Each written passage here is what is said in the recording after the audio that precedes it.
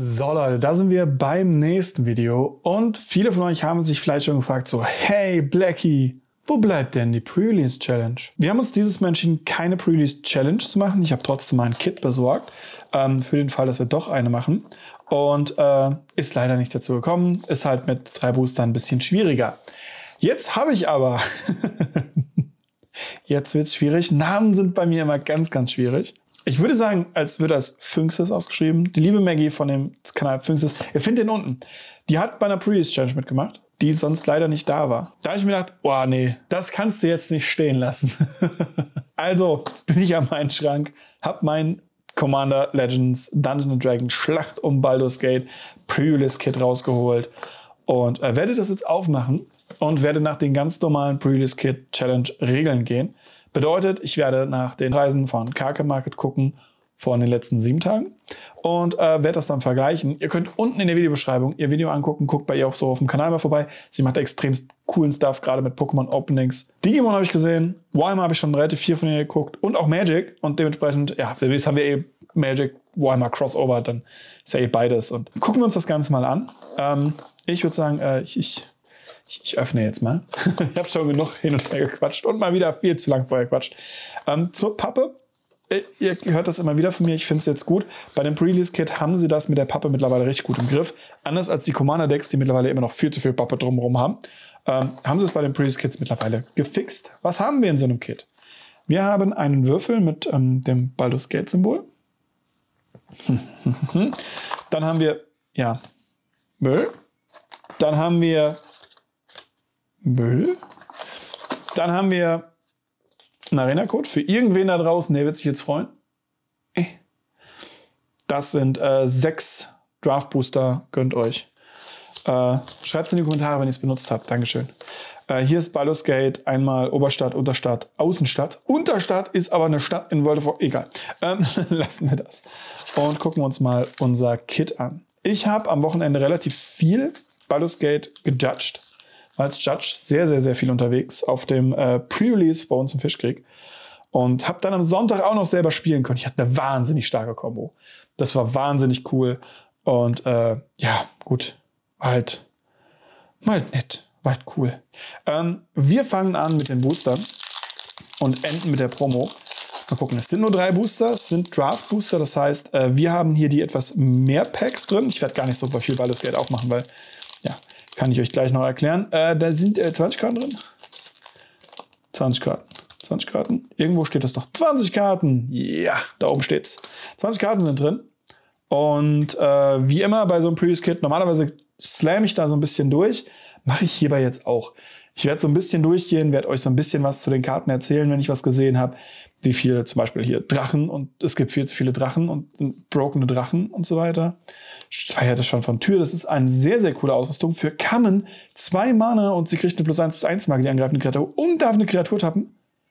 Das ist, das ist, das ist Wahnsinn. Das ist wirklich Wahnsinn. Mäzenen der Künste. Drache Adlige. Es sieht, es sieht so weird aus. Drachen im Kleid ist so weird. Nature's, Nature's, Nature's Claw? Nature's Law. Äh, Habe ich früher ganz oft gespielt. Lustigerweise eine Waldkarte bedeutet, man kann auch Duels raussuchen oder Dryad Arbor oder ähnliches. Ja, Zitadellentor. Es, dass die Dinge jetzt nochmal als Tor gekommen sind, bestimmt eine Farbe außer Weiß. Ja, jetzt sind die Sachen aus, boah, Jumpstart, gar nichts mehr wert.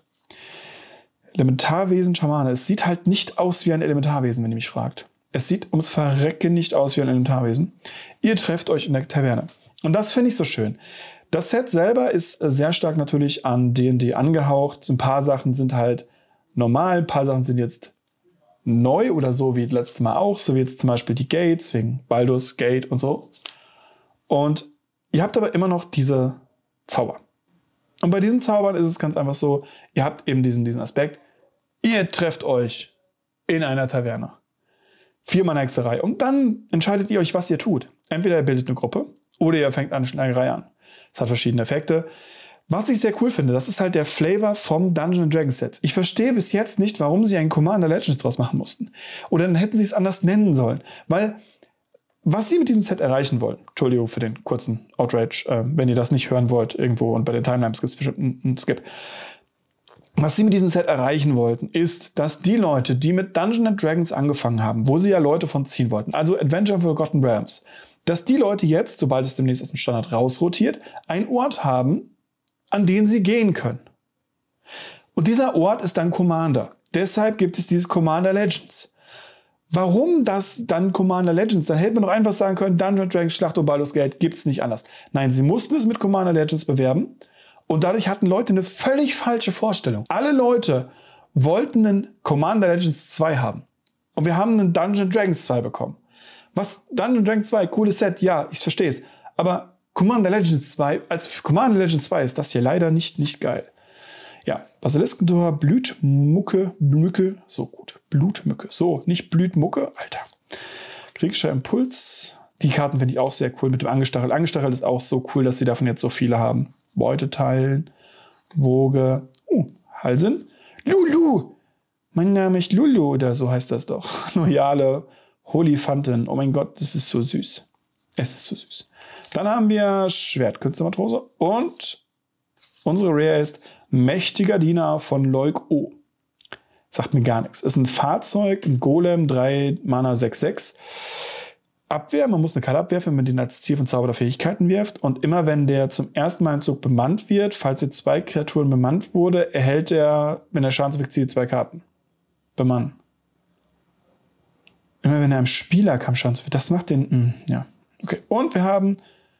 Äh, hä? Livana, Kultistin von Tiamat. Also Tiamat, wer es nicht weiß, ist ja die, die gute Dame, die kleine Drache.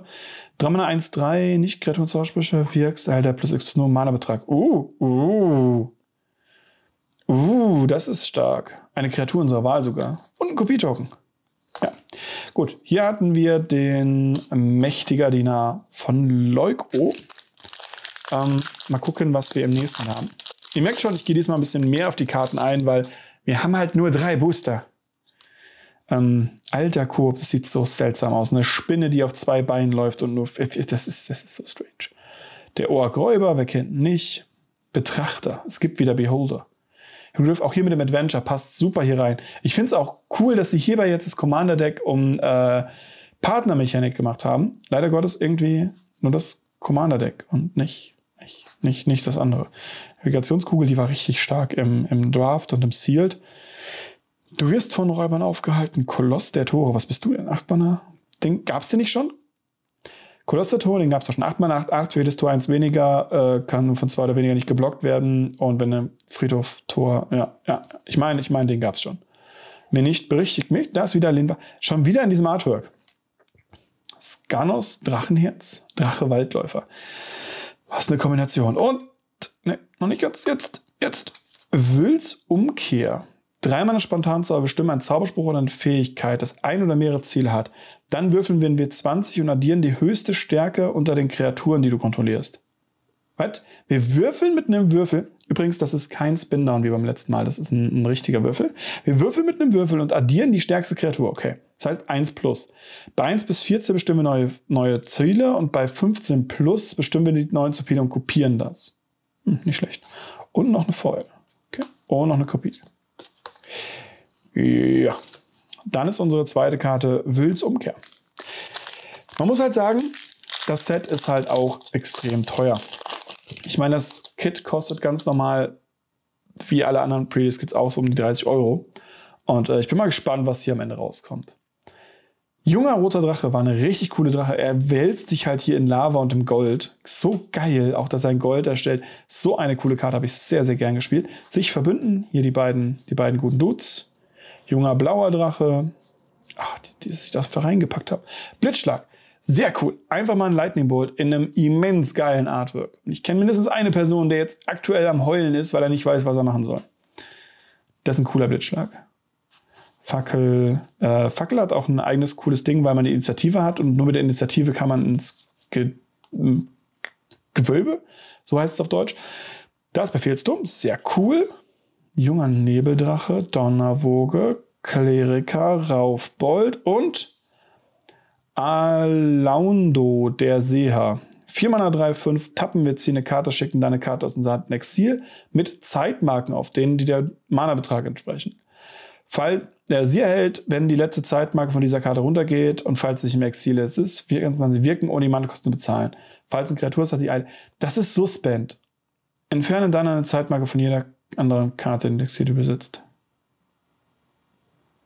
Ah, es ist nicht ganz Suspend.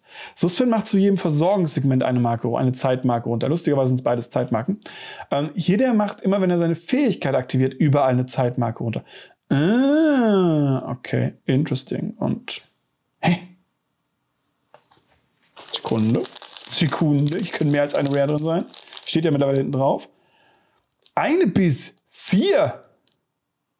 Die Chance, 3 zu, äh, 2 zu haben, ist 37 Prozent. Die Chance, 3 zu haben, 6 Prozent. Und die Chance, 4 auf unter 1 Prozent. Okay. Okay. Äh, Nehme ich. Boostet meinen Gewinn. Äh, uralter Golddrache. 7 Mana. Wow, teuer. 7 Mana, 7, 10 fliegend. Immer wenn der Kampfschaden am Spieler zuwirkt, werden wir 20. Und wir erzeugen so viele 1-1 blaue. Warum denn blaue? Feenwesen, Drachenspielstein, Flugschwierigkeit. Warum denn blau? Aber ist cool, ist Mythic Dragon. Da haben wir noch die Woge des, der wilden Magie. Ist das eine coole Karte? Das Artwork ist so schön. Es erinnert mich halt an The Witcher, wo? Hier mit Ciri und da irgendein, keine Ahnung, Dijkstra oder so. Ja, äh, ich bin immer noch dafür, dass wir einen äh, Crossover von Magic und von, von Witcher kriegen. Und unsere Promokarte, wo dann auch unsere Initiative und unser Dungeon drin ist und so weiter und so fort. Das haben sie wieder aus diesem recycelbaren, 100% recycelt werden äh, Papier gemacht, was ich sehr cool finde. Und dann haben wir unsere, was bist du denn? Entdeckung der Sippe. Fünf Mana Verzauberung. So wie die ins Spiel kommt, bestimmen wir einen Kreaturentyp. Immer wenn eine Kreatur deines bestimmten Prinzips unter deine Kontrolle kommt oder angreift, die du kontrollierst, angreift und ins Spiel kommt, sie eine Karte. Was sind das denn für Vögel? Vogel, Vogel, Vogel. Ja, äh, kenne ich nicht. Vielleicht ist das auch ein Artwork, was ich nicht kenne. Und das ist äh, Ding, aber sagt mir gar nichts. Es wirkt aber sehr stark. Also immer eine Karte ziehen, wenn angreift oder ein Spiel kommt, wenn man das mit Slivern oder so macht, das wirkt schon sehr stark. Ja, das ist mein Previous Kit. Hier seht ihr jetzt, wie viel das Ding wert ist und äh, was das Ding gekostet hat. Wenn das Ganze ein bisschen seltsam klang oder besser oder schlechter, ich habe ein neues Setup, mit dem ich gerade aufnehme. Ihr könnt mir in die Kommentare schreiben, ob ihr das besser oder schlechter findet wie meine aktuellen Videos oder gleich. Das wäre auch cool. Und ansonsten schaut auf jeden Fall äh, bei der guten Dame dabei. Wie gesagt, auch der hier unten nochmal in der Videobeschreibung auf jeden Fall verlinkt. Und falls jemand anders sich berufen fühlt, noch eins aufzumachen, schreibt mir, dann verlinke ich euch auch noch unten. Und dann guckt ihr da auch noch bei. Und ja, das war's soweit. Wir sind's dann beim nächsten Mal. Bis dahin, euer Black Ciao, ciao.